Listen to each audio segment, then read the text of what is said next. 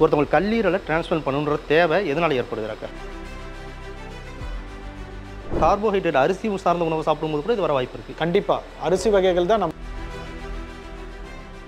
இப்போ டிரான்ஸ்பிளான்ட் பண்ணணுங்கும் போது நீங்கள் அந்த சொந்தக்காரங்க யாரோ ஒருத்தவங்க கொடுக்கலான்றீங்க அது ஓகே அவங்களுக்கு இது இதெல்லாம் கரெக்டாக இருக்கணும் பிளட் குரூப் பார்க்க பார்ப்பாங்க இந்த மாதிரி வேறு என்னென்னலாம் டாக்டர் கரெக்டாக இருக்கணும்னு இருக்கு யூஸ்வலாக பார்த்தீங்கன்னா பிளட் குரூப் முன்னாடி பார்த்துக்கிட்டு இருந்தோம். இப்போ வந்து பிளட் குரூப் கூட பார்க்கறது கிடையாது. எந்த பிளட் குரூப்பில் இருக்கவங்கனாலும் எந்த பிளட் குரூப் வேணாலும் நம்ம வந்து கிட்னியோ லிவரோ கொடுக்கலாம். இன்னும் முக்கியமான மேட்சிங்னு பார்த்தோன்னா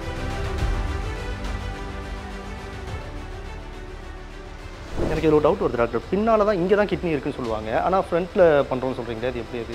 கிட்னி டிரான்ஸ்பிளான்ட் செய்யும் போது நம்மளோட ஓன் கிட்னிஸ் அவங்ககிட்ட ஏற்கனவே இருக்கிற கிட்னியை நம்ம வெளியில் எடுக்க மாட்டோம். நான் என்னோட ஃபிங்கர் மூமெண்ட்ஸ் எல்லாமே அங்கே வந்து அந்த ரொபாட்டிக் ஆர்ம்ஸ் வந்து அது அங்கே அதை அப்படியே ரெப்ளிகேட் பண்ணும். இப்போ நான் இதை வந்து இந்த ரொபாட்டிக் இதை இப்படி இதை இதை இதை எடுத்து இப்போ நான் கட் பண்ணுறேன்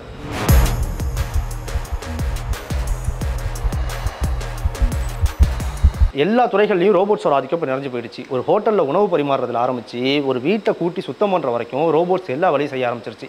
இந்த மாதிரி வேலையை ரோபோட்ஸ் செய்யறதையே நம்ம வியந்து பார்த்துக்கிட்டு இருக்கோம். ஆனால் இதெல்லாம் விட பல மடங்கு மேலே போய் மருத்துவத்துறையில் அதுவும் அறுவை சிகிச்சை செய்யறதுக்கு ரோபோட்ஸ் இப்போ பயன்படுத்திக்கிட்டு இருக்காங்க.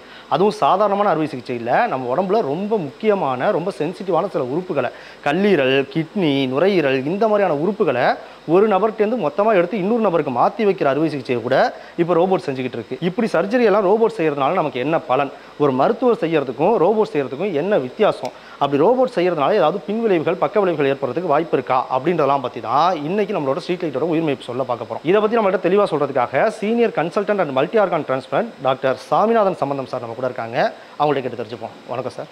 வணக்கம். ஃபர்ஸ்ட் நம்ம லிவரையும் அதாவது கல்லீரலையும் கிட்னி சிறுநீரகத்தையும் எப்படி டிரான்ஸ்பிளான்ட் பண்ண போகிறோம் ரோபோட்டை வச்சுன்றதை பற்றி பார்க்க போகிறோம் ஒருத்தவங்களுக்கு கல்லீரலை டிரான்ஸ்பிளான்ட் பண்ணுன்ற தேவை எதனால் ஏற்படுது டாக்டர் கல்லீரல் டிரான்ஸ்பிளான்ட்ன்றது வந்துட்டு சிரோசிஸ்ன்ற நோயால் பாதிக்கப்பட்டவங்களுக்கு தேவைப்படுது. சிரோசிஸ்ன்றது என்னென்னா கல்லீரல் வந்து சுருங்கி வேலை செய்யக்கூடிய தன்மை இழந்து அதனால் ஏற்படக்கூடிய பின்விளைகளில் தான் வந்து லிவர் ஃபெயிலியருக்கு போவாங்க. அந்த மாதிரி பேஷண்ட்ஸுக்கு தான் நம்ம வந்துட்டு கல்லீரல் மாற்று சிகிச்சை அதாவது லிவர் டிரான்ஸ்பிளான்ட் செய்கிறோம் இது வந்து அதிகபட்சமான காரணம்னு பார்த்தீங்கன்னா ஆல்கஹால் அதிகபட்சமாக ஆல்கஹால் குடிக்கிறனால ஆல்கஹாலிக் லிவர் டிசீஸ் வந்து அதுவே வந்து பிற்காலத்தில் சிரோசிஸாக மாறுறது. ரெண்டாவது முக்கியமான காரணம்னு பார்த்தீங்கன்னா நான் ஆல்கஹாலிக் ஃபேட்டி லிவர்னு சொல்லுவோம். அதாவது நம்மளோட இன்னைக்கு உணவு உணவோட பழக்க வழக்கங்கள்னால நிறைய வெஸ்டர்ன் டயட்லாம் சாப்பிட்டுட்டு இருக்கனால ஆயிலி ஃபுட்டு ஃபேட்டி ஃபுட்லாம் சாப்பிட்றதுனால லிவர் வந்து ஃபேட்டி லிவராக முதல்ல ஆரம்பித்து அதுவே பல வருடங்களில் வந்து சிரோசிஸ் அப்படின்னு மாறி போகுது லிவர் சுருங்கி வேலை செய்கிற தன்மை குறைந்து போய் அதனால் ஏற்படக்கூடிய பின்விளைவுகள் தான் சிரோசிஸ் நோய். இது போக ஹெப்படைட்டிஸ் பி ஹெப்படைட்டிஸ் சின்ற வைரல் கிருமிகள். இது ரத்தம் மூலமாக பரவக்கூடிய கிருமிகள். இது வந்து நம்ம உடம்புல வந்து ஏதாவது ஒரு காரணங்களால் நமக்கு வந்ததுன்னா அதுவும் நாளடைவில் அது கல்லீரலை பாதித்து சிரோசிஸ்க்கு அந்த பேஷண்ட்ஸ் தள்ளப்படுறாங்க. ஓகே. இப்போ சிரோசிஸ்ன்றது லிவர் சுருங்குறது தான் இல்லை லிவர் வீங்கிறதுன்னு சொல்லி கேள்விப்பட்டிருக்கேன் டாக்டர் அந்த மாதிரி பேஷண்ட்டும் இருக்காங்களா? இல்லை லிவர் சுருங்கிறது மட்டும்தான் அந்த சிரோசிஸ்ன்றதா லிவர் வீங்கிறது என்னன்னா அந்த ஆரம்ப கட்டத்தில் அது வீங்கும். இப்போ ஆல்கஹால் சாப்பிட்றதுனாலையோ அல்லது ஃபேட்டி லிவர்னாலேயோ ஹெப்படைட்டிஸ் சி பி எந்த ஒரு மாற்றம் ஏற்பட்டாலும் அது முதல்ல லிவரை புண்ணாகி அது வீங்கி நாளடைவில் அந்த புண்ணு ஆறும்போது ஒரு தழும்பாக ஆறும். இது மாதிரி அடிக்கடி அது புண்ணாகி ஆறும்போதெல்லாம் ஒவ்வொரு வாட்டி அது தழும்பாகும் போதும் லிவரோட கொஞ்சம் செல்ஸ் டேமேஜ் ஆகி இப்போ இவென்ச்சுவலாக அது ஃபுல் லிவருமே சுருங்கி வெறும் ஒரு ஸ்கார் டிஷ்யூவாக எப்படி நமக்கு ஒரு தோல் அடிபட்டு ஒரு தழும்பு ஏற்படுதோ அது மாதிரி முழுக்க முழுக்க அது தழும்பாகி அது வேலை செய்கிற தன்மையை இழந்துருது. இப்போ இந்த ஃபேட்டி லிவர்னு சொன்னீங்க டாக்டர் அது என்னென்ன மாதிரியான காரணங்களாக வருது? உணவு பழக்கம்னு சொல்கிறீங்க எந்தெந்த மாதிரி உணவுகளை எடுத்துக்கிறதுனால அது வரதுக்கு வாய்ப்பு இருக்குது ஃபேட்டி லிவர் வந்துட்டு நம்மளோட ஒரு நம்பிக்கை என்னென்னா நம்ம ஃபேட்டி ஃபுட் தான் சாப்பிட்டா தான் ஃபேட்டி லிவர் வரும். அப்படி கிடையாது. எந்த லெவல் ஆஃப் கார்போஹைட்ரேட்ஸ் அதிகமான கார்போஹைட்ரேட்ஸ் அரிசி வகைகள் sugar sugar foods fatty food எண்ணெயில் பொரித்த பொருட்கள் சீஸ் பட்டர் நெய் இந்த மாதிரி அதிகபட்சமாக உட்கொள்ளும் போது புரோட்டீன் அளவு கம்மியாக எடுத்துக்கிட்டு கார்போஹைட்ரேட்ஸும் ஃபேட்டும் அதிகமாக சாப்பிடும்போது இந்த மாதிரி ஃபேட்டி லிவராக வருது நம்ம அதை அதுக்கேற்ற அளவுக்கு எக்ஸசைஸும் பண்ணாமல் ஒரு செடென்ட்ரி லைஃப் ஸ்டைல் லீட் பண்ணிகிட்டு இருந்தோம்னா நம்ம அந்த அதிகமாக சா உட்கொள்ளக்கூடிய அந்த கார்போஹைட்ரேட்டும் ஃபேட்டும் லிவரில் போய் படிஞ்சு அது ஃபேட்டி லிவராக உருவாகி நாளடைவில் அது சிரோசிஸாக மாறும். இப்போ நான் ஃபேட்டி லிவர்னு இதுக்கு பேர் இருக்கிறதுனால ஃபேட்டை அதிகமாக அந்த ஃபேட் உள்ள பொருளை சாப்பிடும்போது கொழுப்பு உள்ள பொருட்களை சாப்பிடும்போது தான் இது வரும் அப்படின்னு நினச்சிட்டு இருந்தால் நிறைய பேர் அப்படி தான் நினச்சிருப்பாங்க. ஆனால் கார்போஹைட்ரேட் அரிசி சார்ந்த உணவு சாப்பிடும்போது கூட இது வர வாய்ப்பு இருக்குது கண்டிப்பாக அரிசி வகைகள் தான் நம்ம இந்தியாவில் பார்த்தீங்கன்னா நிறைய சாப்பிட்டுட்டு இருக்கோம். பர்டிகுலராக சவுத் இந்தியாவில் நம்மளோட முக்காவாசி டயட் வந்து காலையில் இட்லி தோசை மதியம் சாதம் திருப்பி நைட்டு இட்லி தோசை. எல்லாமே அரிசி வகையை பேஸ் பண்ணி தான் பண்ணுறோம் அதனால தான் பார்த்தீங்கன்னா நம்ம ஊரில் ஃபேட்டி லிவர் வந்து ரொம்ப ரொம்ப அதிகமாக இருக்குது அதனால் கார்போஹைட்ரேட்ஸை கட் பண்ணணும். Fatty food deep fried foods fast foods இதெல்லாம் கட் பண்ணிவிட்டு ஆல்கஹாலை கட் பண்ணிவிட்டு ஒரு ஹெல்த்தி லைஃப் ஸ்டைலை லீட் பண்ணி எக்ஸசைஸ்லாம் பண்ணாலே ஃபேட்டி லிவர் வராமலே போகும் ஓகே டாக்டர் இப்போ ஹெப்படைட்டிஸ் பி சி சொன்னீங்க டாக்டர் அது என்ன மாதிரியான காரணங்களால வர வாய்ப்பு இருக்குது வந்த சிம்டம்ஸ் எப்படி இருக்கும்? ஹெப்படைட்டிஸ் பி சி கிருமிகள் ரெண்டுமே பார்த்தீங்கன்னா ரத்தம் மூலமாகவும் உடல் உறவு பண்ணுற மூலமாகவும் இந்த இதனால தான் வந்துட்டு அதுங்க வந்து பரவுறது. முக்க இப்போ வந்து ரொம்ப ரொம்ப நம்ம கேர்ஃபுல்லாக இருக்கும். ஒரு இருபது வருஷம் முப்பது வருஷத்துக்கு முன்னாடி அது முக்காவாசி நீடில்ஸ் மூலமாகவும் இன்ஜெக்ஷன்ஸ் மூலமாகவும் ரத்தம் மூலமாகவும் பரவிட்டு இருந்தது இப்போ நம்ம எல்லாமே டிஸ்போசபிள் யூஸ் பண்ணுறோம் பிளட் எல்லாத்தையுமே நம்ம செக் பண்ணி தான் பிளட் பேங்க்கில் எல்லாமே டெலிவர் பண்ணுறோம் ஸோ அதனால் ஹெப்படைட்டிஸ் பி அண்ட் சியோட இன்சிடென்ஸ் வந்து குறைஞ்சிக்கிட்டே தான் வருது இப்போது இப்போ முக்கியமாக பார்த்தீங்கன்னா அது செக்ஷுவலி டிரான்ஸ்மிட்டடாக மட்டும்தான் இருக்குது யாருக்கே ஏற்கனவே இருந்ததுன்னா அது மூலமாக இன்னொருத்தனுக்கு பரவுறது தான் இந்த மற்றபடி பிளட் மூலமாக பரவுறதெல்லாம் இப்போ ரொம்பவே குறைஞ்சி போயிடுச்சு. இது வந்ததுன்னா என்ன ஆகும்னா நான் சொன்ன மாதிரி ஆரம்ப கட்டத்தில் எந்த ஒரு ஒரு சிம்டம்ஸும் இருக்காது. உடம்புல கிருமிகள் இருக்கும். பத்து வருஷம் பதினஞ்சு வருஷம் அது லிவரை பாதித்து லிவர் வந்து புண்ணாகி வீங்கி திருப்பி அது சுருங்கி சிரோசிஸ் ஸ்டேஜுக்கு போய் மஞ்சக்காமலை வரும்போது தான் அவங்களுக்கு தெரியும் தனக்கு வந்து ஹெப்படைட்டிஸ் பி இருக்குன்றது. இல்லைன்னா ஏதாவது ஒரு ஒரு ஹெல்த் எம்ப்ளாய்மெண்ட் ரிலேட்டடாக ஏதாவது செக்அப் பண்ணாங்கன்னா அப்போ கண்டுபிடிக்க முடியறது. இல்லைன்னா ஏதாவது உடம்பு சரியில்லாமல் வேறு எதுக்காவது செக் பண்ண போகும்போது அவங்களுக்கு ஹெப்படைட்டிஸ் பியோ சியோ இருக்கிறத தான் கண்டுபிடிக்கிறோம். அதர்வைஸ் இந்த ஹெப்படைட்டிஸ் பி சி இருந்ததுன்னா அதை கண்டுபிடிக்க வேண்டிய வாய்ப்பே கிடைக்கிறது இப்போ நீங்கள் சொல்கிறதுல இந்த வைரஸால் மட்டும் பாதிக்கப்பட்டால் மட்டும்தான் லிவர் இவ்வளோ லேட்டாக நமக்கு சிம்டம் காட்டுமா? இல்லை நார்மலாகவே லிவரில் ஒரு பாதிப்பு வந்தால் லேட்டாக தான் சிம்டம் காட்டுமா? யூஸ்வலாகவே ரொம்ப லேட்டாக தான் காட்டும். லிவரோட பாதிப்பு பார்த்தீங்கன்னா ஆரம்ப கட்டத்தில் ஒன்றும் தெரியாது. அது நமக்கு ஏதோ ஒரு ஒரு வயிற்று வலி இருக்கிற மாதிரி இருக்கும். ஒரு அஜீரணம் சோர்வுத்தன்மை பசி இல்லாத தன்மை இந்த மாதிரி தான் இருக்கும். Okay doctor. இப்போ இதை டிரான்ஸ்பிளான்ட் பண்ணணும்னா எந்த அளவுக்கு லிவரில் டேமேஜ் ஏற்பட்டுச்சுன்னா அதை டிரான்ஸ்பிளான்ட் பண்ணுன்ற இடத்த நோக்கி போகணும் டாக்டர். நான் குறிப்பிட்டிருந்த மாதிரி சிரோசிஸ் ஸ்டேஜுக்கு போகணும். போயிட்டு அவங்களுக்கு இந்த சிம் சிரோசிஸ்னால ஏற்படக்கூடிய பின்விளைவுகள் இருக்கணும். அதாவது வயிற்றில் நீர் தேங்குறது அசைட்டிஸ்ன்னு சொல்லுவோம். கால் வீக்கம் ரத்த வாந்தி எடுக்கிறது மோஷனில் ரத்தம் போகிறது மஞ்சக்காமாலை ரத்தம் உறையக்கூடிய தன்மை குறைஞ்சி போயிடும். பிளேட்லெட் அணுக்கள்னு சொல்லுவோம். ரத்தத்தில் இருக்கிற ஒரு அணுக்கள் வந்து ரொம்ப குறைஞ்சி போயிடும். இதெல்லாம் இருந்ததுன்னா சிரோசிஸ் ஸ்டேஜுக்கு தள்ளப்பட்டு அதனால் பாதிக்கப்பட்டிருக்காங்கன்னு அர்த்தம். இவங்களுக்கு தான் நமக்கு லிவர் டிரான்ஸ்பிளான்ட் தேவைப்படும் அந்த ஸ்டேஜஸ் சொல்லுவாங்க டாக்டர் ஸ்டேஜ் ஒன்று டூ த்ரீ ஃபோர் அப்படின்னு. அதில் இது சிரோசிஸ்ன்றது ஃபோர்த் ஸ்டேஜுங்களா சிரோசிஸ்ன்றது தான் லாஸ்ட் ஸ்டேஜ் பிகினிங் ஸ்டேஜில் ஃபைப்ரோசிஸ்னு சொல்லுவோம். வெறும் தழும்பு மட்டும் ஃபார்ம் ஆகுறது. அதுவே அட்வான்ஸ் ஆகி லிவர் வேலை செய்யாமல் போகிற ஸ்டேஜுக்கு வரும்போது தான் சிரோசிஸ்ன்னு சொல்லுவோம். இப்போ சிரோசிஸ் ஸ்டேஜுக்கு வந்துட்டா லிவர் டிரான்ஸ்பிளான்ட் தான் பண்ணி ஆகணும் ஆமாம் இப்போ அந்த காலத்தில் வந்து ஓப்பன் சர்ஜரி பண்ணிட்டு இருந்தாங்க. இப்போ நம்ம இதுக்கு மாதிரி இருக்கும். இதை ஓப்பன் சர்ஜரியில் இதை என்ன எந்த மாதிரி மெத்தடில் இதை பண்ணுறோம் டாக்டர் கடந்த ஒரு இருபது வருஷமாக பார்த்தீங்கன்னா இதெல்லாமே நம்ம வந்து ஓப்பன் ஆப்ரேஷனில் செஞ்சுக்கிட்டு இருந்தோம். ஒரு பெரிய கட் வயிற்றில் பண்ணி அது மூலமாக அந்த லிவரோட ஒரு பகுதியை கட் பண்ணி எடுத்துக்கிட்டு இருந்தோம். இப்போ ஒரு சமீபமாக ஒரு அஞ்சு வருஷங்களில் பார்த்தீங்கன்னா இந்த ரொபாட்டிக்ன்ற கருவி மூலமாக நம்ம வந்து அதே டோனர் ஆப்ரேஷனை சின்ன சின்ன ஹோல்ஸ் போட்டு அது மூலமாக இந்த ஆர்ம்ஸ் எல்லாம் அதுக்குள்ளே போயிடும் போயிட்டு நம்ம இதை வச்சு அந்த லிவரோட ஒரு பகுதியை கட் பண்ணி அதை வந்து நம்ம ஒரு சின்ன இன்சிஷன் போட்டு அது வழியாக வெளியில் எடுத்துரும். இதுதான் நான் இந்த ஒரு கடந்த பத்து வருடங்களில் இருபது வருடங்களில் ஏற்பட்ட ஒரு சர்ஜிக்கல் ஃபீல்டுலேயே ஏற்பட்ட ஒரு மிகப்பெரிய அட்வான்ஸ்மெண்ட்டுன்னு சொல்லுவேன் ஓகே டாக்டர் இப்போ நீங்கள் சொல்லிட்டு இருக்கும்போது எனக்கு இந்த டவுட் வந்துச்சு. ஏன்னா இந்த ஹோல் போட்டு நம்ம இந்த சர்ஜரியை பண்ணிட முடியும் கட் பண்ணிட முடியும். திரும்ப லிவர் வந்து நார்மலாகவே நம்ம உடம்புல இருக்கிற பெரிய ஆர்கான் அது. அதை வெளியில் இருக்கணும் ஒரு சின்ன செஷன் சின்ன இன்சிஷன் போட்டு தான் வெளியில் எடுக்கணும் திரும்ப நம்ம உள்ள இன்னொருத்தவங்க வைக்கும் போதுமே அந்த இடத்துல ஒரு சர்ஜரி பண்ண வேண்டியது இருக்கும். ஆமாம் ஒரு ஓப்பன் சர்ஜரி மாதிரி பண்ணி தான் உள்ள வைக்கணும். உள்ள வைக்கணும். ஓகே டாக்டர் இப்போ டோனர் சைட்லேருந்து எனக்கு ஒரு டவுட் வருது. டோனர் வந்து இப்போ லிவரை அறுபது சதவீதம் கிட்ட கொடுக்குறாங்க. அவங்களுக்கு திரும்ப அந்த லிவர் அறுபது சதவீதம் வளரணும். ஹண்ட்ரட் பர்சன்டேஜ் வளரணும். அது வரைக்கும் அவங்களுக்கு ஏதாவது டிஃபிகல்ட்டிஸ் ஃபீல் பண்ணுவாங்களா? ஸோ லிவர் டிரான்ஸ்பிளான்ட் பார்த்தீங்கன்னா ரெண்டு வகையாக பண்ணலாம். ஒன்று வந்துட்டு அவங்கள லிவர் டிரான்ஸ்பிளான் தேவைப்படுற பேஷண்ட்டை வந்து வெயிட்டிங் லிஸ்ட்டில் பதிவு பண்ணி வச்சுட்டு மூளை இறந்து போய் உறுப்பு தானம் பண்ணுறவங்ககிட்டேருந்து வரக்கூடிய ஒரு கல்லீரல் எடுத்து கொடுக்கறது. அதுக்கு பேர் வந்து கெடாவர் லிவர் டிரான்ஸ்பிளான் சொல்லுவோம். இன்னொரு ஆப்ஷன் வந்துட்டு லிவிங் டோனர் லிவர் டிரான்ஸ்பிளான் சொல்லுவோம். அதாவது அவங்க சொந்தத்திலே இருக்க யாராவது ஒருத்தவங்க வந்து அவங்களுக்கு ஒரு சிறு பகுதி கல்லீரலை தானமாக கொடுக்கலாம். அந்த மாதிரி கொடுக்குறவங்க வந்து ஒரு பதினெட்டு வயசுலேருந்து ஐம்பது ஐம்பத்தஞ்சு வயசுக்குள்ளே இருக்கிற ஆணோ பெண்ணோ யாராக இருந்தாலும் கொடுக்கலாம். நம்ம லிவர் பார்த்திங்கன்னா நல்லா வளரக்கூடிய தன்மை இருக்குது ஒரு நாலுலேருந்து ஆறு வாரத்துலலாம் அது கம்ப்ளீட்டாக வளர்ந்து வந்துடும் ஸோ ஒருத்தவங்க வந்து ஒரு அறுபது சதவீதம் கல்லீரல் அறுபதுலேருந்து அறுபத்தஞ்சு சதவீதம் கல்லீரலை வந்து நம்ம கட் பண்ணி எடுத்தால் கூட அவங்க உடம்புல அந்த லிவர் வந்து வளர்ந்து வந்துடும் இதனால் பார்த்தீங்கன்னா டொனேட் பண்ணுறவங்களுக்கு வந்துட்டு நம்ம வந்து ஒரு ஐம்பதுலேருந்து அறுபது சதவீதம் அந்த பேஷண்ட்ஸ்க்கு எவ்வளோ தேவையோ அந்த அளவுக்கு நம்ம கல்லீரலை வந்து ஒரு ஆப்ரேஷன் பண்ணி அதை கட் பண்ணி இவங்களுக்கு எடுத்து கொடுப்போம். இல்லை டோனர் ஆப்ரேஷன்றது ரொம்ப ரொம்ப சேஃப் நம்ம சொன்ன மாதிரி ஓப்பன் ஆப்ரேஷன்லேருந்து இன்றைக்கி ரொபாட்டிக் ஆப்ரேஷனுக்கு போயிட்டோம். இப்போ பார்த்தீங்கன்னா டோனர் ஆப்ரேஷன் முன்னாடிலாம் ஓப்பன் டோனர் ஆப்ரேஷன் பண்ணும்போது கிட்டத்தட்ட பத்து நாள் ஹாஸ்பிட்டலில் இருந்தாங்க. இப்போ வந்துட்டு நாலு நாளில் வீட்டுக்கு போயிடுறாங்க. ஆப்ரேஷன் முடித்து நாலு நாளில் வீட்டுக்கு போயிட்டு பத்து நாளில் வேலைக்கே திரும்பி போகிற அளவுக்கு சரியாயிடுறாங்க.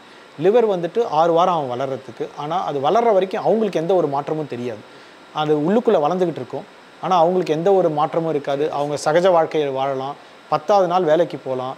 சின்ன சின்ன பசங்கள்லாம் வேலையை கொடுத்துட்டு திருப்பி ஸ்போர்ட்ஸ் விளையாடுற அளவுக்கு ஒரு ரெண்டு மூணு வாரத்துலலாம் ரெடி ஆகிடுறாங்க சரி டாக்டர் இப்போ நம்ம அடுத்தது எப்படி அதை செய்யலான்றது எப்படி நீங்கள் செய்வீங்கன்றதை செஞ்சு பார்த்துருவோம். அடுத்து கிட்னிக்கு வந்துடும் டாக்டர். கிட்னி எப்போ டிரான்ஸ்ஃபர் பண்ணுன்ற நம்பிக்கை போகும்? கிட்னி டிரான்ஸ்பிளான்ட்ன்றது இதே மாதிரி லிவர் டிரான்ஸ்பிளான்ட் மாதிரி தான். எப்படின்னா கிட்னி டிரான்ஸ்பிளான்ட் வந்து கிட்னி ஃபெயிலியர் இருக்கவங்களுக்கு டயாலிசிஸ்னால இருக்கிறவங்களுக்கு கிட்னி டிரான்ஸ்பிளான்ட் தேவைப்படுறது. இது வந்து டயாலிசிஸ்ன்றது ஒரு டெம்பரரி ட்ரீட்மெண்ட் தான். டயாலிசிஸ் வந்து வாரத்துக்கு நம்ம வந்து மூணு நாள் செய்கிறோம் ஆனால் நம்மளோட கிட்னி பார்த்திங்கன்னா இருபத்தி நாலு நேரமும் வேலை செஞ்சுக்கிட்டு இருக்குது அதனால் ஒரு வாரத்துக்கு மூணு நாள் ஒரு வாட்டி நாலு மணி நேரம் பண்ணுறதுனால நம்ம உடம்புல இருக்க நச்சுப் பொருட்களை எல்லாத்தையும் முழுக்க முழுக்க எடுக்க முடியாது. ஸோ நம்ம வந்து கிட்னி டிரான்ஸ்பிளான்ட் போகிற வரைக்கும் ஒரு டெம்பரரி ட்ரீட்மெண்ட் தான் வந்துட்டு டயாலிசிஸ்ன்னு சொல்லப்படுறது.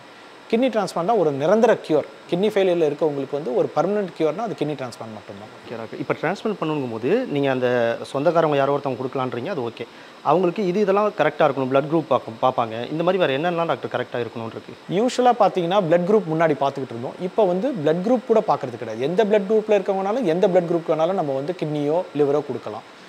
இன்னும் முக்கியமான மேட்சிங்னு பார்த்தோன்னா டிஷ்யூ மேட்சிங்னு சொல்லுவோம். அதாவது இந்த டோனரோட ரத்தத்தையும் ரெசிபியண்ட்டோட ரத்தத்தையும் நம்ம வந்து மிக்ஸ் பண்ணி அது எதோ ரிஜெக்ட் ஆகுமா ஆகாதான்றதை பார்க்கறதுக்காக ஒரு ஹெச்எல்ஏ மேட்சிங் பண்ணுவோம். அது மேட்ச் ஆனாலே போதும் நமக்கு. இப்போ கிட்னி டிரான்ஸ்பிளான்ட் ப்ரொசீட் பண்ணுறது அவங்களோட சொந்த இம்யூன் சிஸ்டம் வந்து தாக்காமல் இருக்கு. தாக்காமல் இருக்கிறதுக்கான சில டெஸ்ட்டுங்கெல்லாம் இருக்குது ஸ்பெஷல் டெஸ்ட் கிராஸ் மேட்ச்னு சொல்லுவோம். அந்த கிராஸ் மேட்ச் டெஸ்ட் நல்லபடியாக வந்ததுனாலே நம்ம ப்ரொசீட் பண்ணிடலாம் டிரான்ஸ்பிளான்ட் ஓகே டாக்டர் இப்போ கிட்னி டிரான்ஸ்ஃபர் பற்றி சொல்லும்போது அதுவுமே ஓப்பன் பண்ணி தான் பண்ணுமா? இல்லை ரோபாட்டிக் மூலமாக பண்ண முடியுமா? கண்டிப்பாக ரொபாட்டிக் மூலமாக பண்ண முடியும். இப்போ பார்த்தீங்கன்னா கிட்னி டிரான்ஸ்பிளான்ட்டுக்கு டோனர் கிட்னி டொனேட் பண்ணுறவங்களுக்கு நம்ம லாப்ரோஸ்கோபிக் கீஹோல் ஆப்ரேஷன் மூலமாக கிட்னியை வெளியில் எடுத்துருவோம். அதை உள்ளே பொறுத்துற ஆப்ரேஷன் அந்த ரெசிபியன்ட் ஆப்ரேஷன் வந்துட்டு க இவ்வளோ நாளாக ஒரு கடந்த ஐம்பது வருஷமாக ஓப்பன் ஆப்ரேஷன் தான் பண்ணிகிட்டு இருந்தோம். பட் இந்த ஒரு ரெண்டு மூணு வருஷங்களில் பார்த்தீங்கன்னா ரொபாட்டிக் கருவி மூலமாக நம்ம வந்து கிட்னி டிரான்ஸ்பிளான்ட் பண்ண ஆரம்பிச்சிருக்கு. இது வந்து ஒரு மிகப்பெரிய அட்வான்ஸ்மெண்ட் இந்த ஃபீல்ட் ஆஃப் கிட்னி டிரான்ஸ்பிளான்டேஷன் இதில் இந்த ரொபாட்டிக் கருவி வந்து நம்ம கிட்ட இங்கே தமிழ்நாடை பொறுத்த வரைக்கும் காவேரி ஹாஸ்பிட்டலில் மட்டும்தான் ரொபாட்டிக் கிட்னி டிரான்ஸ்பிளான்டேஷன் நாங்கள் பண்ணிட்டு இருக்கோம். இந்தியாவிலேயே கிட்ட ஒரு ஏழுலேருந்து எட்டு பேர் தான் வந்து ரொபாட்டிக் கிட்னி டிரான்ஸ் ஓ இந்தியாவிலேயே இந்தியாவிலேயே வந்து ஏழுலேருந்து எட்டு பேர் தான் பண்ணுறோம் தமிழ்நாட்டில் காவேரியில் மட்டும்தான் ரொபாட்டிக் கிட்னி டிரான்ஸ்பிளான்ட் பண்ணுறோம் இதனால் பார்த்தீங்கன்னா நம்ம வந்து நாலாவது நாளில் கிட்னி டிரான்ஸ்பிளான்ட் பண்ணிட்டு பேஷண்ட் வீட்டுக்கு போயிடுறாங்க. நாலு அல்லது அஞ்சாவது நாளில் வீட்டுக்கு போயிடுறாங்க. தழும்பே இருக்காது. அதனால் வந்து குயிக்காக ரெக்கவர் ஆகி வேலைக்கு போகிற அளவுக்கு ரெடி ஆகிடுறாங்க இதனாலேயே பார்த்தீங்கன்னா நம்மக்கிட்ட நிறைய இள வயசு பசங்களும் பெண்களும் கல்யாணம் ஆகாத பெண்களும் பசங்களும் தழும்பு இல்லாமல் பண்ணிக்கிறதுக்காக வராங்க.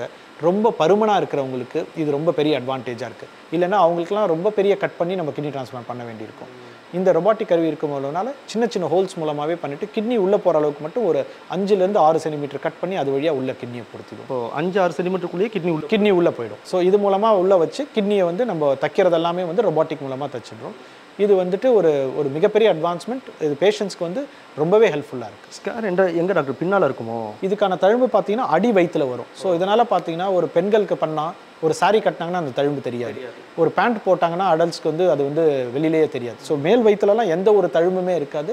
அவங்க கிட்னி டிரான்ஸ்பிளான்ட் பண்ணதுக்கான அறிகுறிகளே இருக்காது எனக்கு இதில் ஒரு டவுட் வருது டாக்டர் பின்னால் தான் இங்கே தான் கிட்னி இருக்குன்னு சொல்லுவாங்க. ஆனால் ஃப்ரண்ட்டில் பண்ணுறோம்னு சொல்கிறீங்க அது எப்படி அது? கிட்னி டிரான்ஸ்பிளான்ட் செய்யும் போது நம்மளோட ஓன் கிட்னிஸ் அவங்க கிட்ட ஏற்கனவே இருக்கிற கிட்னியை நம்ம வெளியில் எடுக்க மாட்டோம்.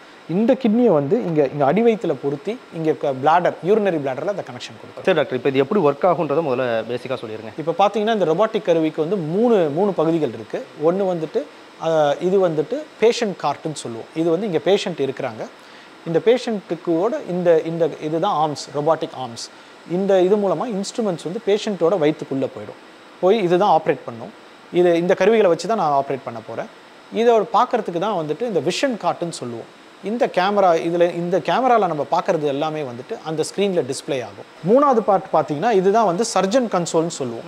இப்போ இதில் தான் சர்ஜன் உட்காந்து இந்த ஜாய்ஸ்டிக்கை பயன்படுத்தி நம்ம மூவ் பண்ணும்போது என் கையில் நான் என்னென்ன மூமெண்ட்ஸ் எல்லாம் கொண்டு வரணும் அது எல்லாமே அந்த இன்ஸ்ட்ருமெண்ட்டில் ரொபாட்டிக் ஆர்ம்ஸில் அது மூவ் ஆகும். இவ்வளோ டிஸ்டன்ஸ்லேருந்து தான் நீங்கள் சர்ஜரியே பண்ணுவீங்க. ஆமாம் ஸோ அந்த அங்கே வந்து அந்த ரொபாட்டிக் ஆர்ம்ஸ் எல்லாம் மூவ் ஆகும். என்னோட ஹேண்ட் வந்து இந்த ரெண்டு ஜாய்ஸ்டிக்குள்ளே என்னோட கை ரெண்டு இருக்கும்.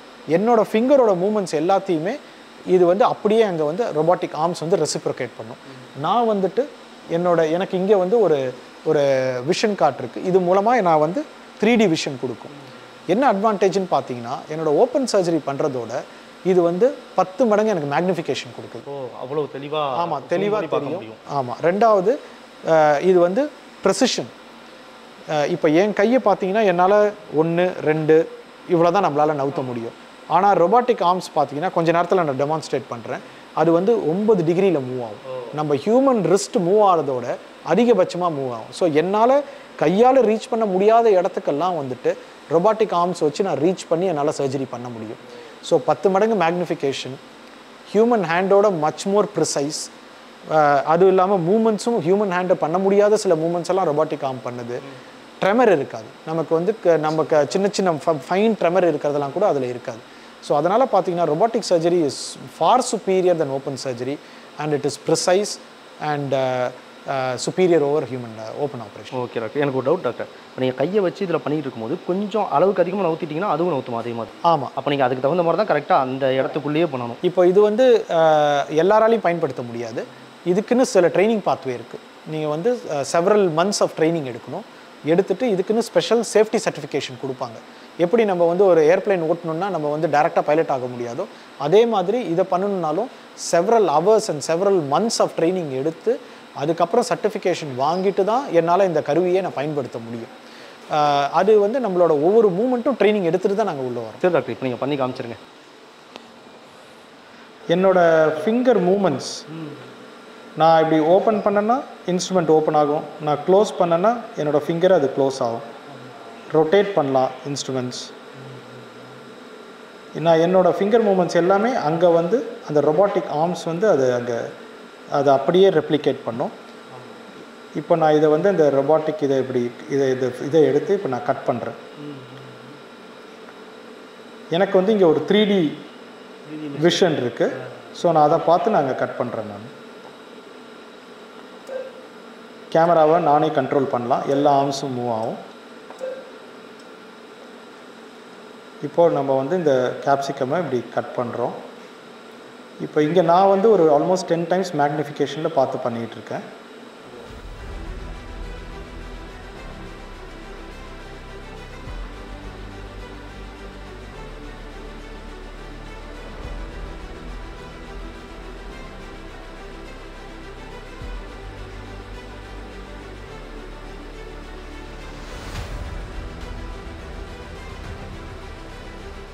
உங்களுக்கு விஷயம் எப்படி டாக்டர் ஒரு மைக்ரோஸ்கோப்பில் பார்க்குற மாதிரி தெரியுமா?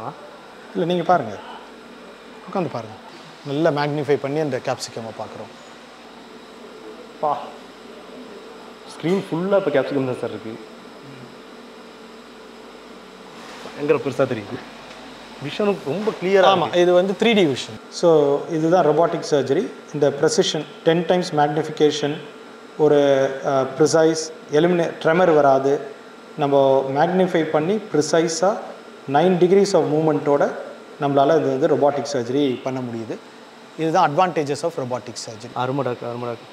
Super doctor. ரோபோட்ஸ் எந்தெந்த துறை இல்லாமல் வந்துருச்சு. மருத்துவ துறைக்குள்ளேயும் ரோபோட்ஸ் வந்து இந்த அளவுக்கு ஒரு மைனூட்டான சர்ஜரியை ஒரு தழும்பு இல்லாத அளவுக்கு ஒரு சர்ஜரி பண்ணுதுன்றது நினைக்கும் போதே மருத்துவத்துறை எந்த அளவுக்கு வளர்ந்துருக்குன்னு நினச்சா பெருமையாக தான் டாக்டர் இருக்குது ரொம்ப நன்றி டாக்டர். ரொம்ப நன்றி. தேங்க்யூ